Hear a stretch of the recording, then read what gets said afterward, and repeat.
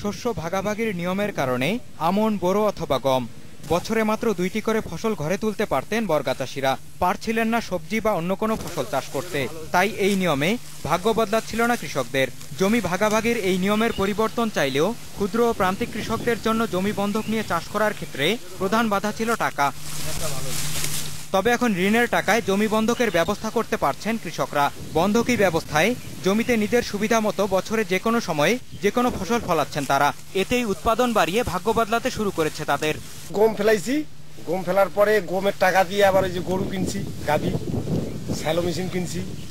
তারপরে ওই যে অশোষা অবিশ্বাস্য করি, ওটা দিয়ে স্প্রে করি স্প্রে মেশিন কিনছি। বাড়তি আয় কৃষি যন্ত্রপাতি কিনে স্বয়ংসম্পূর্ণ হয়ে উঠছেন একসময়ের বর্গা চাষিরা বদলেছে বাড়িঘরের অবস্থাও। তিন বিঘা মাটি আদি আবাদ করছিলাম।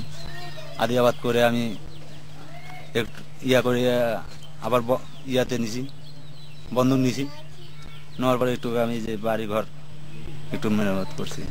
দিনাজপুরের খানসামা উপজেলার ক্ষুদ্র চাষীদের এই দিনবদল শুরু হয়। দু হাজার বারো সাল থেকে বেসরকারি উন্নয়ন সংস্থা ব্র্যাকের বর্গাচাষী ঋণ সহায়তা কার্যক্রম চালুর পর থেকে নির্ধারিত কোনো অঙ্কে বেঁধে রাখা হয়নি এই ঋণের পরিমাণ। মাঠকর্মীরা বাড়ি বাড়ি গিয়ে সম্ভাব্যতা যাচাই করে প্রয়োজন অনুযায়ী ঋণ সরবরাহের ব্যবস্থা করছেন। ক্ষুদ্র ঋণদাতা প্রতিষ্ঠানগুলো সাপ্তাহিক ভিত্তিতে কিস্তি নেয় বলে পরিশোধ করা কঠিন হয়ে পড়ে অনেকের জন্য। তাই এই ঋণের কিস্তি নেওয়া হচ্ছে মাসিক ভিত্তিতে। কম রাখা হয়েছে সুদের হারও। ঋণটা নিয়ে মানুষ, যেমন আগে এইভাবে ঋণ পাইতো না। বিভিন্ন এনজিও থেকে বলেন, আমাদের ব্র্যাক থেকেই।